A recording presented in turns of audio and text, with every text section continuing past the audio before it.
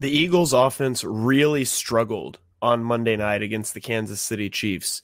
Jalen Hurts was only 14 of 22 passing for 150 yards. He threw an interception. Uh, he took five sacks. It was one of his worst EPA performances of the season. What was going on? Was it just the weather? Is it a you know is it layover from the bye? What's what's wrong with the Eagles offense? Well, let's go to the film and see if we can figure that out. On this first play, we have the first third down. Opening drive for the Eagles. The defense has gotten off the field, given you great field position. What are you going to draw up? I, I, don't know what's going on in this play. It looks like mirrored concepts, which means we're running the same thing to both sides of the field.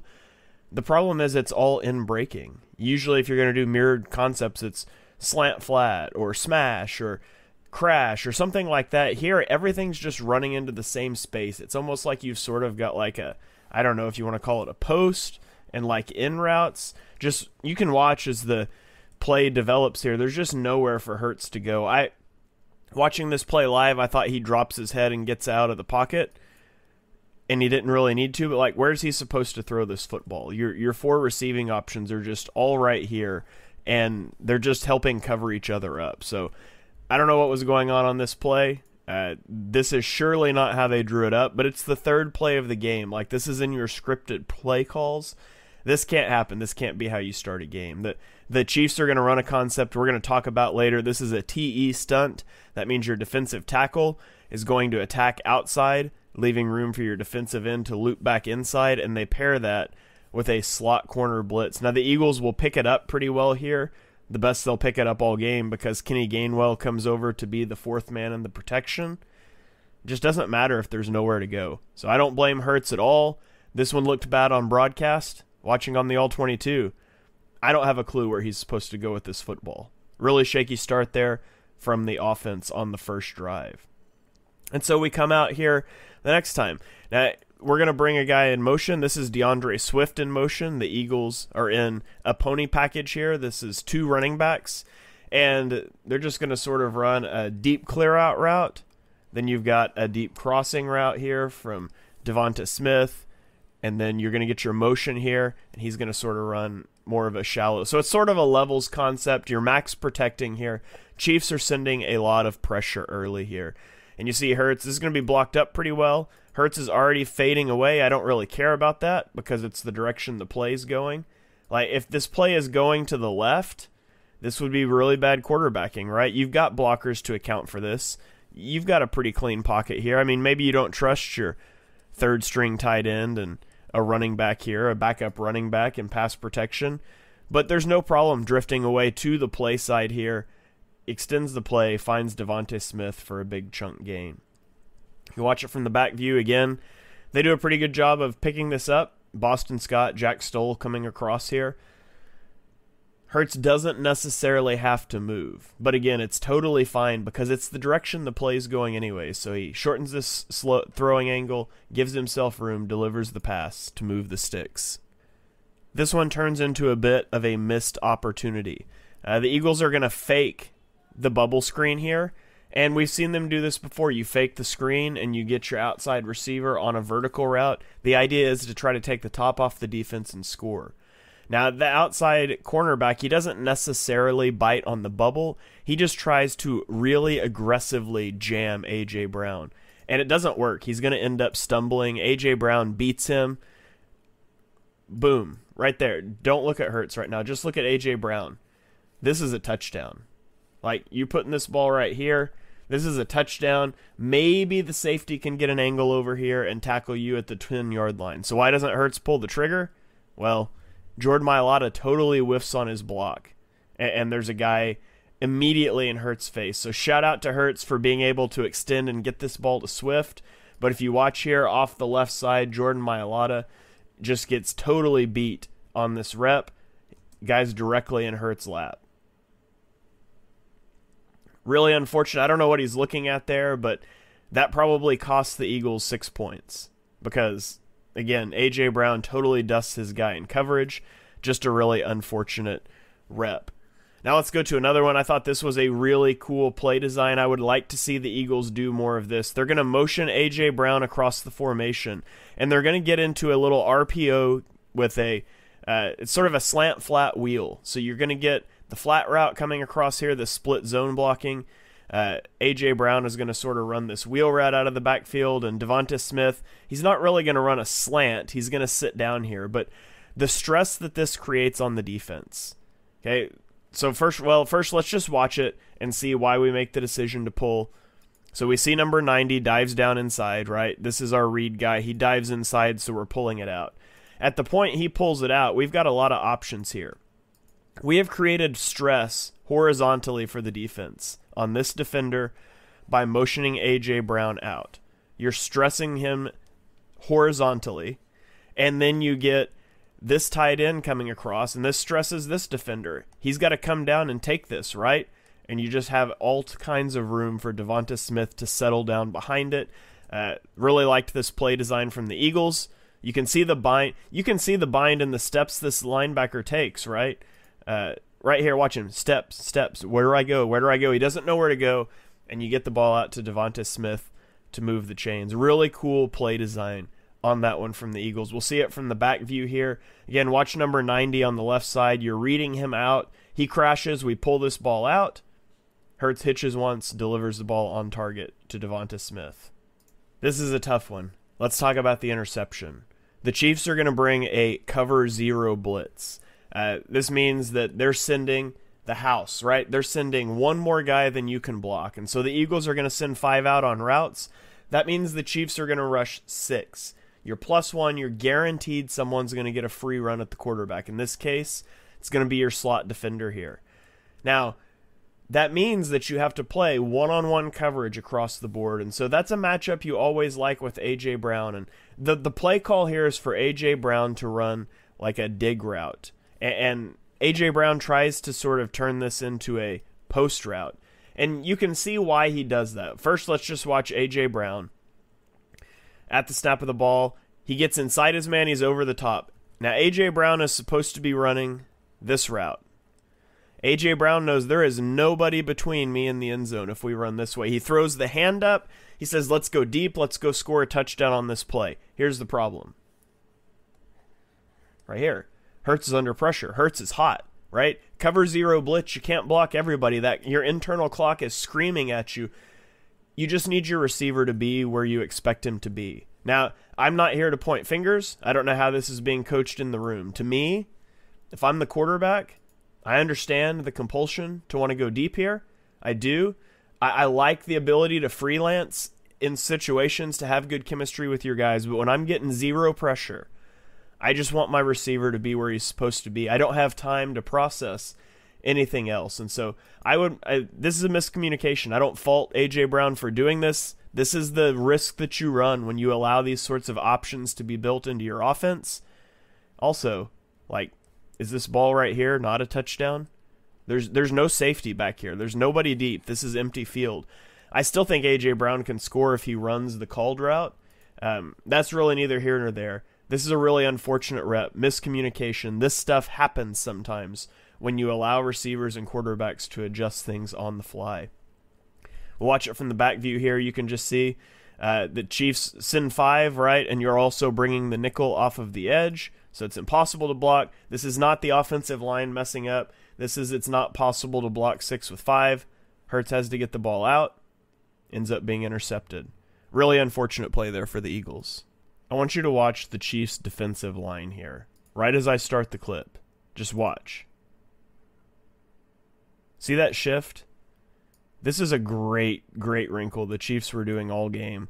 The Eagles are going silent count. You see uh, Cam Jurgens, the right guard, he taps Jason Kelce.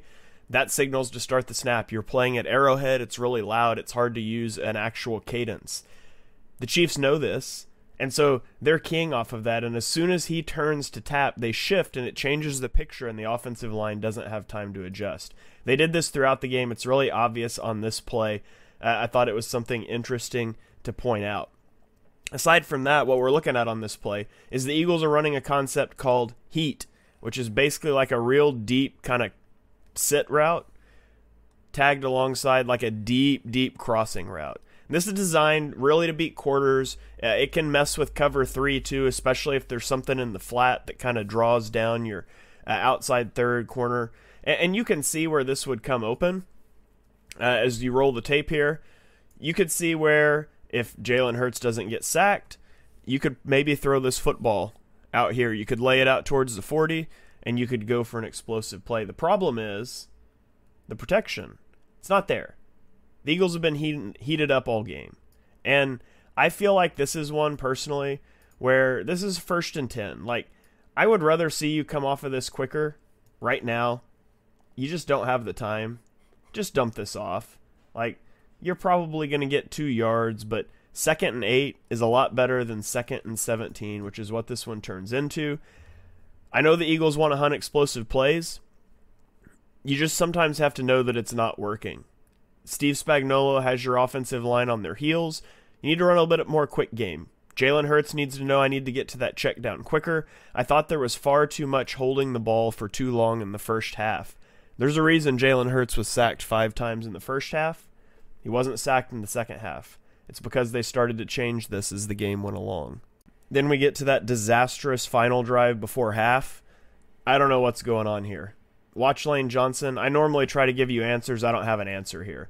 Uh, the way he blocks this, just shoves the guy by. That's what you do on a screen or on like a QB draw, but nobody else is doing that. Like we watch from the back view, none of the other offensive linemen are letting their guys go. I don't know if Lane gets the call wrong. What? What? Just one-handed shove. Like it's not even really an attempt to block here. You just watch. He throws the one hand, pushes him. Nobody else is doing that. Everybody else is blocking. So I don't know if Lane mixes the call up here. Jalen's able to at least get back near the line of scrimmage, but not a good way to start your drive. And then here we get this concept I talked about earlier that the Chiefs were running a lot. Uh, the Eagles are going to go five out on routes here. So you've got running back to the flat. You've got like this corner route from your receiver. Now it's close with being able to throw this corner route, but here's what the Chiefs do. They got Chris Jones. This is a TN stunt or a TE stunt tackle. Defensive tackle is attacking the tackle upfield. You're going to loop behind him and you're going to pair that with the corner blitz. Now, the reason this is so difficult, and we'll look at it more from the back view, so maybe I'll just save that for a second. Let's just watch upfield here. Right here. If this ball could start coming out right here to Devonta Smith, you could throw it into the sideline.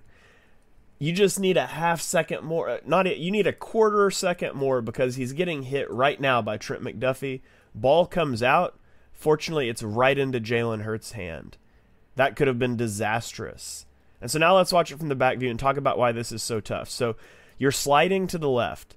What that means is uh, Jason Kelce is snapping the ball and he's working this direction.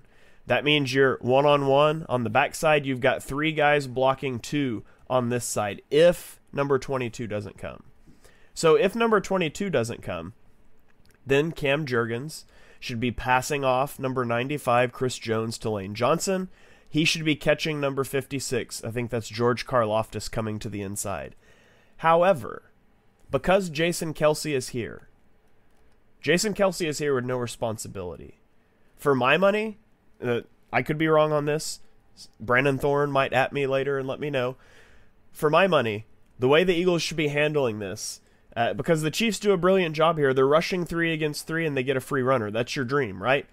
Because they've been showing this look, to me, Cam Jurgens should stay locked up with Chris Jones. Just let Karlaftis loop inside. Jason Kelce is there waiting.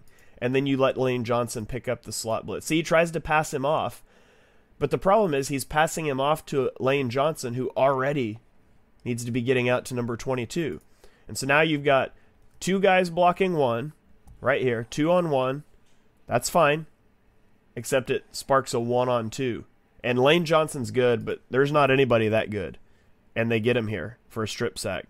Really fortunate the ball's not recovered. Fortunate Jalen's not injured on that play. I mean, we've seen quarterbacks get injured on plays like that. You're going to see that again in this game, and it continued to be a problem. It's not something the Eagles did a great job adjusting to. Obviously, you don't see any sacks in the second half, uh, but that's a huge thing to look for teams to try to do against the Eagles moving forward. Now, I don't want people to think I'm throwing shade at the offensive line because I thought the offensive line still did a pretty good job in this game. Steve Spagnuolo does a great job, but I want you to watch when I click play. I've talked about the defensive front shifting. Look, Cam Jurgens is looking back at Hurts now. He's about to tap Jason Kelce. Watch what they do. Right now, where does it look like the pressure's coming from? We got three over here. We've only got two over here, right? So you would think Jason Kelce should slide this direction. But watch as the tap happens, he's going to come flying down. We drop back. We've changed where the three are. There's no time for the offense to adjust this, but Jason Kelce slides to the bottom of the screen. Like they're sniffing this out. And so, first of all, that's great. We get it coming the right direction here. We've got our protection picked up. We've also got this safety stepping down, single high. Let it fly to A.J. Brown on the sideline. Hurts hits the top of his drop, balls out. Pretty ball, just a little too close to the sideline. And A.J. Brown, although he catches it, is unable to come down with the ball. But you see Jason Kelce right there, right? Which direction is he pointing? I, I just love that. Jason Kelce is such a smart player. And you see right here, even as Cam Jurgens is tapping him, what's he doing? Look at his arm.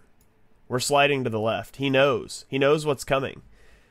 Picks it up. Hurts hits the drop. Balls out. Again, just a little bit outside. Not able to bring it in.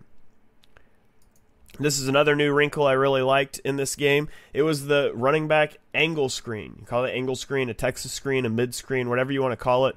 We get the orbit motion here. We're going to stretch the defense, right? We could be throwing a screen out this way. You've got to react to this. You've got to widen out a little bit, and you see that step to widen out. And what are we doing? We widened him out just so we've got a good angle to block him with the tight end. We get guys coming up, and we throw the little angle behind. And I just love this design. I thought this was brilliant. Swift makes a guy miss there, and he's able to get near the first down marker. I thought that was really cool play by the Eagles. Watch it from the back view here. Devonta Smith in orbit motion. You've got to respect it, right?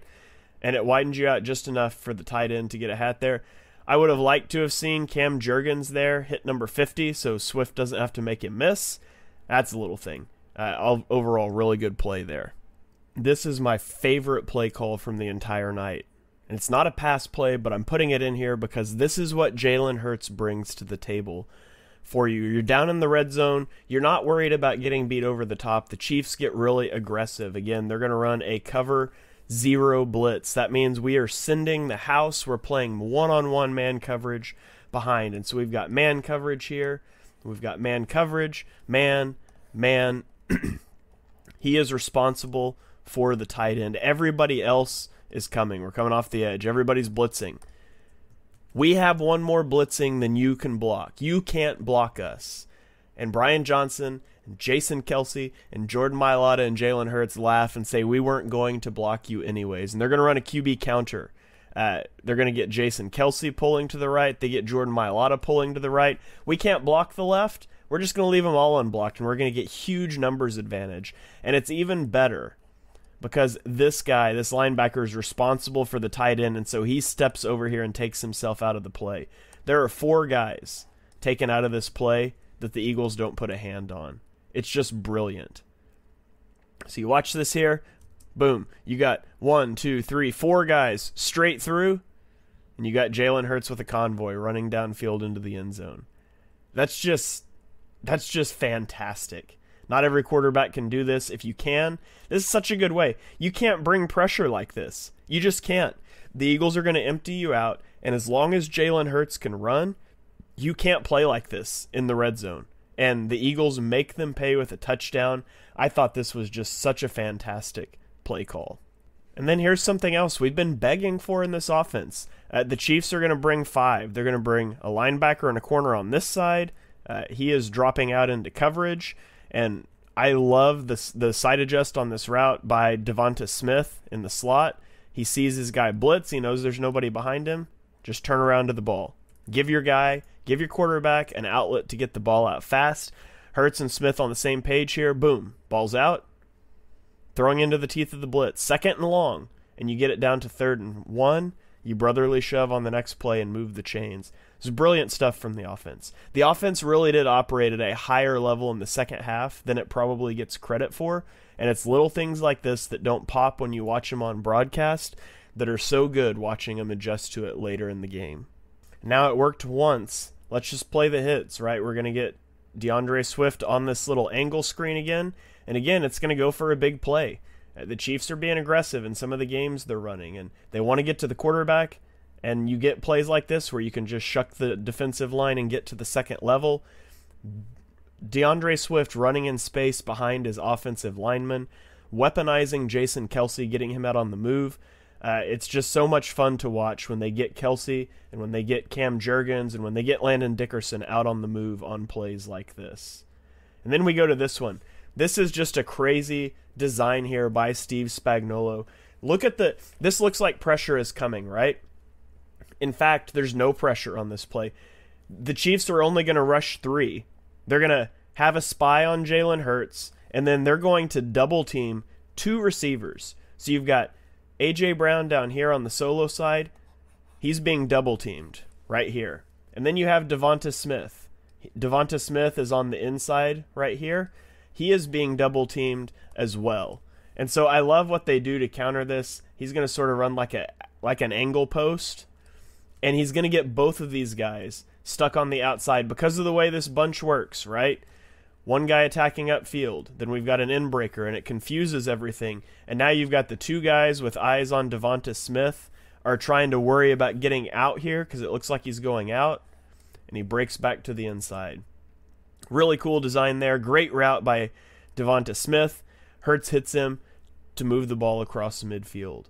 Uh, so honestly, really fun, really cool design by Steve Spagnuolo. It is wild to double team two receivers on the same play Jalen Hurts figures it out and he gets the ball to uh, Devonta Smith anyways. And then we're going to end on this one.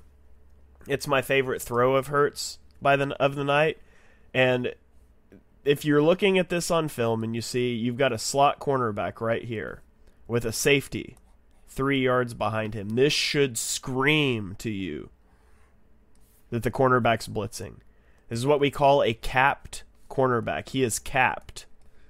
That means there's a guy over the top of him capping him that's going to take his coverage responsibility because he's coming on the blitz. And so Hurts sees this.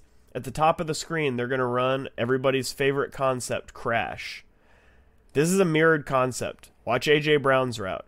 Devonta Smith is supposed to run this crash route, but Jalen Hurts checks this play at the line of scrimmage. And Jalen Hurts checks into a slot fade because, say it with me, single high, let it fly. Right? We've got one safety, and I love everything about what Hurts does. Watch as he takes his drop here. Watch where his eyes go. He is looking at the top of the field at a route that he knows he is never going to throw. This half of the field is not on the menu. He's not throwing this, but he's keeping this safety over this direction so he has single high coverage, trusting Devonta Smith to win on this fade route.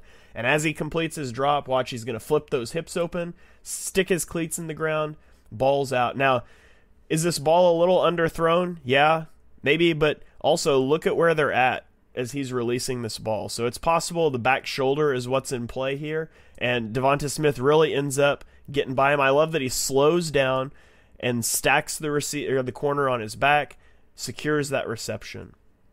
This was phenomenal. I can't I can't tell you how impressive this is by Hurts. He has been getting screamed at off the right side of the line the entire game. Pressure has been coming this direction at him the whole game, and in this moment, he doesn't even glance at it.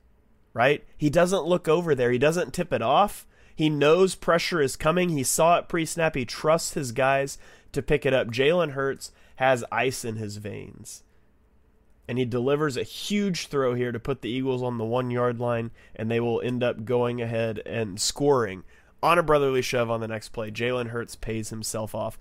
Most impressive, most impressive moment in the game for Jalen Hurts was that throw right there for me. This is really one of those games that when I watched it back on all 22, I felt a lot better about the performance. Yes, it wasn't clean, but Steve Spagnuolo threw some really good wrinkles at the Eagles offense. I really did think that they adjusted as the game went on. Uh, Jalen Hurts, for as many sacks as he took in the first half, as long as he was holding the ball, he ended up with an average time to throw of 2.61 seconds, which is his fastest of the year. He also had his lowest average depth of target of the season at 6.4 yards. And so, adjustments were made. The ball was coming out quicker. I thought the angle screens uh, were a great adjustment that was made on the fly. Uh, overall, there's some things to be concerned about, some things to work on, but I feel a lot better about this performance after watching it back than I did watching it live on Monday night.